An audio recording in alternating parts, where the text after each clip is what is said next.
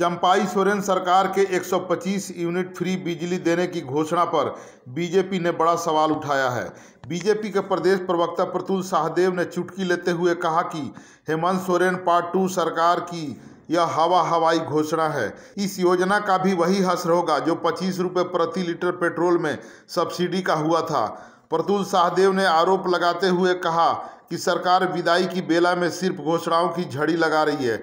उन्होंने सरकार पर हमला बोलते हुए कहा कि सरकार दावा करती है कि 22 लाख लाभुक फ़ायदा उठा रहे हैं, लेकिन वह श्वेत पत्र जारी कर यह नहीं बताती कि किन पंचायत में, किन जिलों में कितने लाभुक हैं। देखिए, चंपई सोरेन सरकार ने 100 यूनिट फ्री बिजली को अब 125 यूनिट फ्री बिजली करने का निर्णय लिया है। लेकिन हमें सरकार के किसी भी वायदे पर, किसी भी घोषणा पर यकीन नहीं। और खुद मुख्यमंत्री चंपाई सोरेन जी ने कहा था ना कि ये हेमंत सोरेन पार्ट टू है। तो पार्ट वन में क्या हुआ था आपको याद होगा कि गरीबों के लिए पच्चीस रुपये लीटर, प्रति लीटर पेट्रोल में सब्सिडी की उस सरकार ने घोषणा की थी।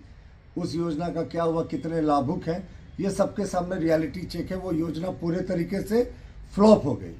अब इनकी जो योजना है फ्री बिजली की, उसके लिए हमने इनसे कई बार आग्रह किया है कि आप श्वेत पत्र जारी करें, बताएँ कि जो 22 लाख लाभुक आप क्लेम करते हैं, वो किस ज़िले के हैं, किस पंचायत के हैं, किस प्रखंड के लेकिन सरकार ऐसा करती दिख नहीं रही है।